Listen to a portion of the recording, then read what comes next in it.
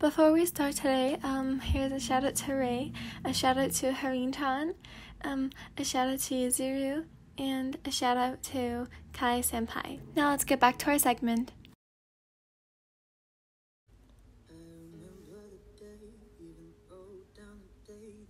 I fumble around for seating. I just got my schedule in the mail, and I'm in the worst class possible. Instead of finding something to keep my balance, I falter, mouth ajar, on the floor along with my entire body. I think of who could have, who would have been able to do this. My grades are perfect with no marks, and my attitude is spot on, in front of the teachers at least. I can think of nothing, no one who would my eyes narrow, and I try not to shatter my teeth.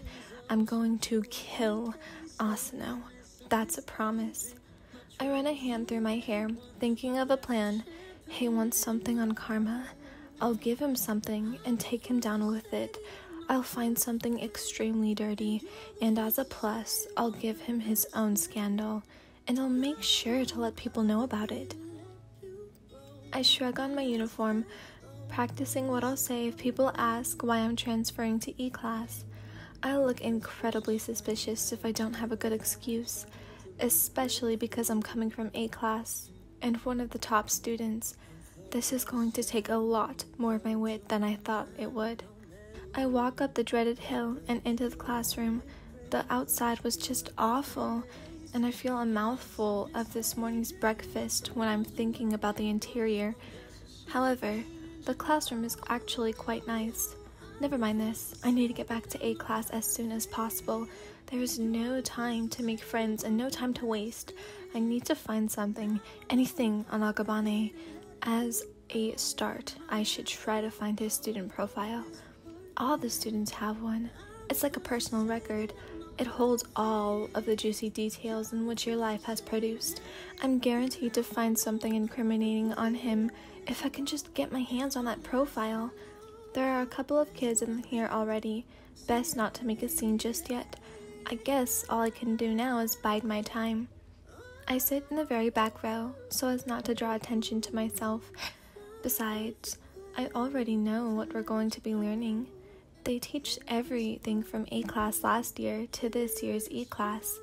It's only fair since they put in way less work than anyone on the main campus. Uh, Ellen? I hear my name and turn around to see Shiota, making his tiny way over to my desk. Hey, Shiota. I feel sweaty on my forehead. I thought he was in D class. What the hell? I can't believe you're here, he says, eyes widening in surprise. Me neither, kid. Me neither. A yellow blob of something slides into the class and seems to begin teaching. What the absolute fuck is that thing? It's not until a JMD Japan's military defense agent follows after him and explains what this year is going to be like. As he talks, I look out the window.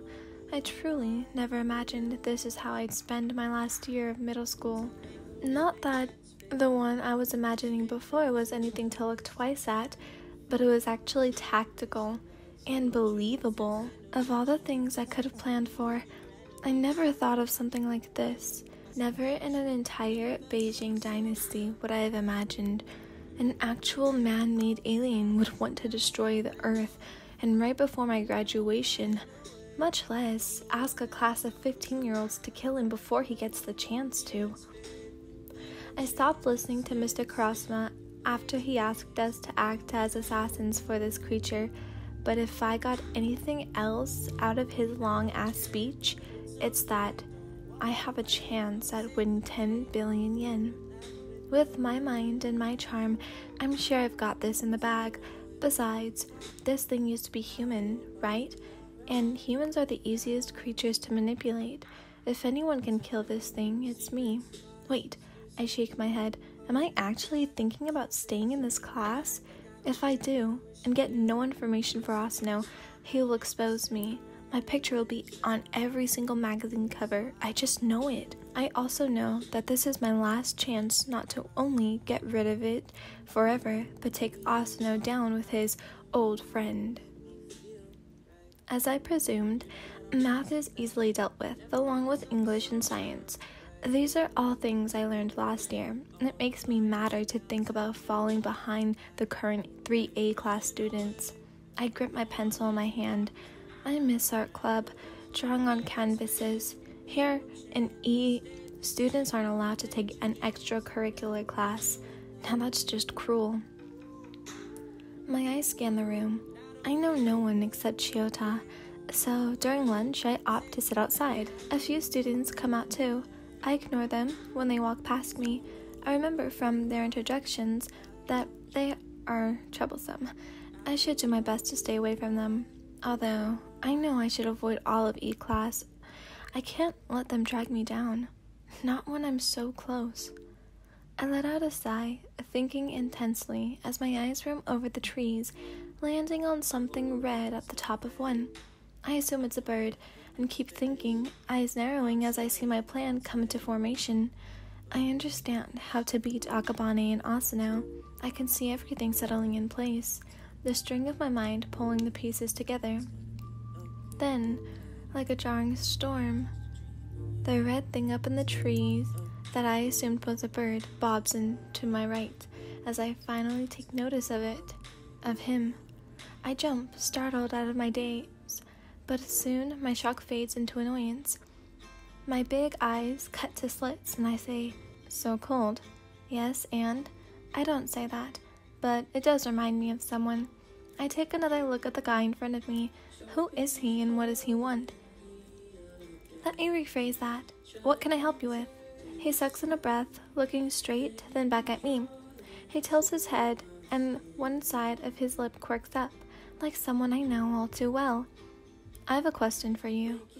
He's not dressed in a uniform, and I didn't see him during class or after introductions. The yellow alien didn't call anyone as absent, insinuating he didn't come late. So again, who is he and why is he here? So ominous. I smile, hopefully indicating I am intrigued. Would I be able to obtain your name? In a different situation, I would have referred to him as Sir, but something tells me he isn't much older than I am. He grins. You have to earn it. Excuse me? Who does he think he is? I'd rather be surrounded by E class scum than be sitting here having a conversation with this obnoxious idiot. No, thank you. I stand to walk back inside the class, but before I can take a step, I feel a hand tug on my uniform. Wait, please don't go. His pout is too obviously fake, but I'm way too curious not to give in. Yes, fine. No name. What is your question? And make it quick, class is about to start again. Of course. He smiles, clearly pleased with himself. Nevertheless, I glare at the spot he's holding my sleeve in, and when he lets go, I refocus on his eyes, a kind of orange golden, possibly mercury color. I just wanted to know.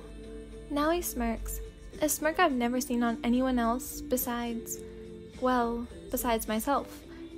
How's Asano doing?